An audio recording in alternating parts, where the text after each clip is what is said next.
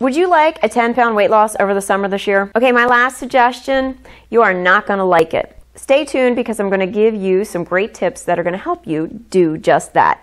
So, you want to lose 10 pounds over the summer? Absolutely doable. A healthy weight loss is between one and two pounds per week. So if you're losing more than that, you're losing muscle. If you are just starting out and you're overweight, that first week you may lose five pounds. A lot of it is water weight. Don't be too alarmed. I know you're to be ecstatic, but a lot of times it's just water because you're flushing out your system. But ideally, two pound weight loss is the maximum that you should be aiming for each week. If you want a 10 pound weight loss over the summer, totally doable because it's 10 weeks, right? The summer's about three months long. Totally doable. 12 weeks, you can do this, okay? So, my first suggestion is to work out, obviously. so, make sure you have a great workout lined up. This time of year is the perfect time of year to be outside, depending on where you live. But if you're out in South Jersey, it's a great time to be outside and it's a great time to take your workout outside. So I have a great workout for you that you can download today. It's a workout on a swing set. So if you have kids or grandkids and you're taking them to the park, guess who gets to play on the playground with the kids? You. You can download that free workout in the description below. You can also go to this link, shapeitupfitness.com, get outside, and you can download your free copy of my outdoor workout. My next suggestion is to take a break during the day. Whether you are working still or whether you have off, take a break in the middle of the afternoon. Don't take a siesta unless you really need it. But if you're working, I don't think that's going to fly with your boss. But go take a walk go out in nature, do some yoga moves, do some stretches, anything to kind of just decompress. I am a big proponent of listening to like audible.com and books on tape, that kind of thing, even music to kind of keep me going.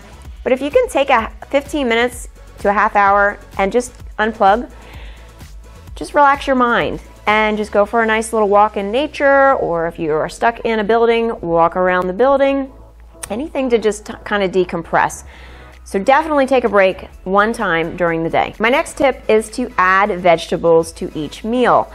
Depending on how many meals you're eating, hopefully you're eating a minimum of three. Um, I personally eat a lot of meals. I eat like six meals a day. So depending on how many meals you eat.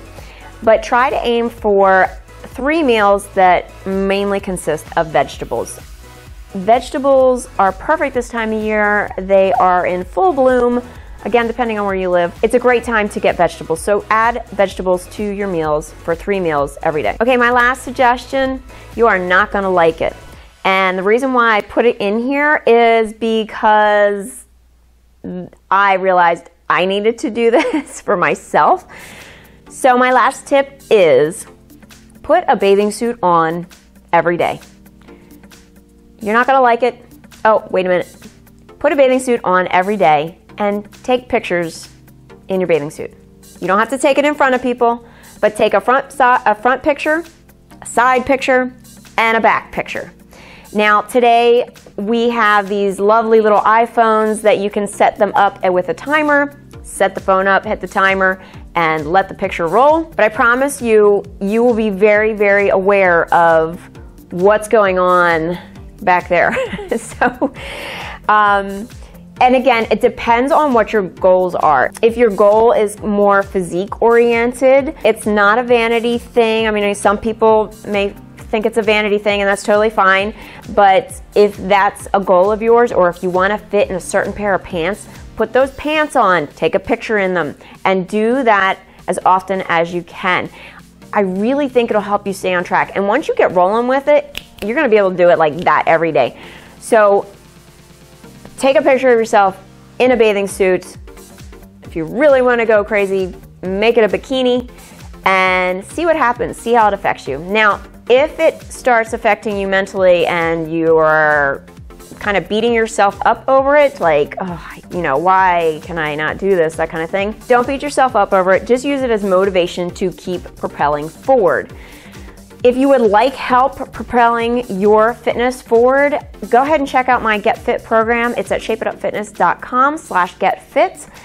It's a great way to stay accountable and I will help you get where you want to be. So remember, for a 10 pound weight loss, you need to be losing two pounds roughly each week. And if you are struggling with that and you want some help, go ahead and head over to shapeitupfitness.com. I'd be happy to help you out. So thank you again for being here. If you like this video, please give it a thumbs up. If you know someone who could use this information, please go ahead and share it with them. Thank you so much for being here. All this month on the Shape It Up channel, I will be giving you summer tips that you can actually use. So stay tuned for the next Shape It Up video. Remember to get fit, be fierce, and have no limits. And I'll see you in the next Shape It Up video. So I'm trying something new with the hair. This is actually my natural weave. Thumbs up? No. See. Very pretty. Have a good day.